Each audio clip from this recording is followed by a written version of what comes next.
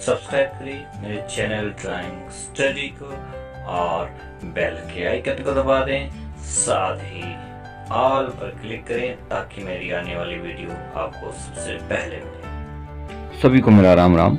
छठी कक्षा में आज हम पढ़ेंगे प्रश्न नंबर 45 ए, बी, रेखा के बाहर बिंदु के से एक ऐसी रेखा खींचो जो रेखा ए बी पर मिलने से दिए कोण x के समान कोण बनाए।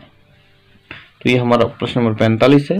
इसमें हमें ए बी रेखा दे रखी है और एक बाहर बिंदु दिया हुआ है के और एक दे रखा है कोण x सबसे पहले हम एक ए बी रेखा लेंगे।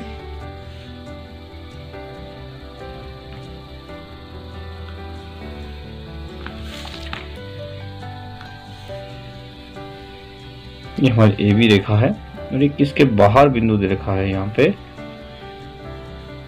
के। और एक यहाँ पे हमें कोण दिया हुआ है।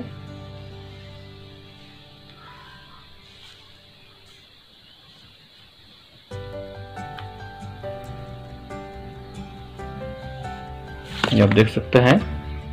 ये हमें कोण हमें दे रखा है तो मैं कोण ले लेता हूँ यहाँ पे।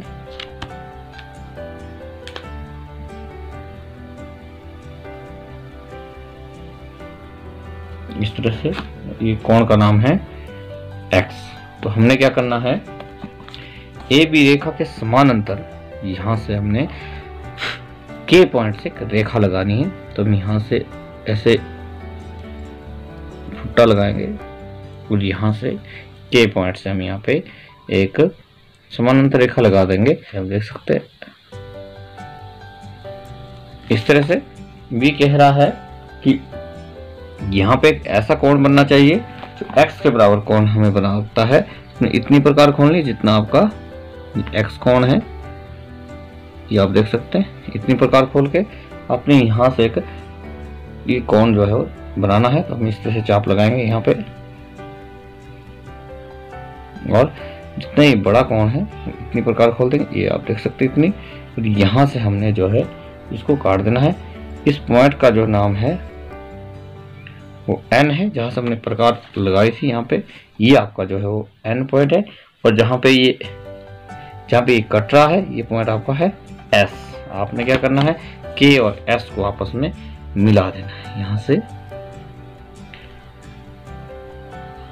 ये आप देख सकते हैं, और ये आपका जो है वो आंसर है, ये आंसर रेखा है, जहाँ पे ये ए बी रेखा को काट रहा है, ये पॉइंट आपका आ गया एल और ये आपका के है, जो ये आपकी रेखा, इसका नाम आप दे सकते हैं सी और डी ये आपका प्रश्न नंबर है पैंतालीस, ये आपका बन के तैयार हो गया है। अब इसमें सिर्फ़ हमारा एक ही प्रश्न बचता है, प्रश्न नंबर छियालीस, और आपका मेडिकल का जो सिलेबस है वो भी पूरा हो जाएगा। अगला हमारा है प्रश्न नंबर छियालीस प्रोटेक्टर द्वारा छप्पन डिग्री का कोण बनाओ। प्रोटेक्टर मीन्स आपके पास एक डी होती है, आपकी ज्योमेट्री बॉक्स में, इसको हम बोलते हैं प्रोटेक्टर ये प्रोटेक्टर है। इसके सहायता से आप कोई भी कोण बना सकते हैं। हमें यहाँ पे कहा गया है कि हमने छप्पन डिग्री का कोण बनाना है। तो सबसे पहले हम एक रेखा ले लेते हैं यहाँ पे ए बी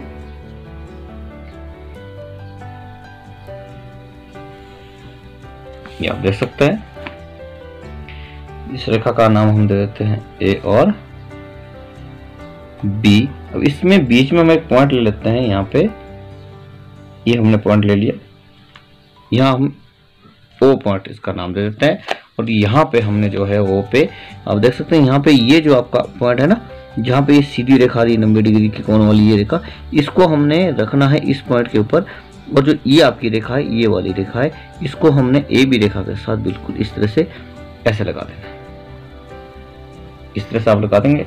और अब हमने यहाँ से छप्पन डिग्री है तो ये आपका है पचास। ये पचास है और पचास से आगे ये आपका पचपन है और ये एक आपका है यहाँ पे छप्पन। आप देख सकते हैं यहाँ पे, ये देखिए, छप्पन आप यहाँ से तो चाहे आप जितना मर्ज़ी डिग्री का कौन बनाओ, यहाँ से देखो, अगर आपने यहाँ से कौन बनाना है तो देखिए, यहाँ से आपका ज़ीरो है।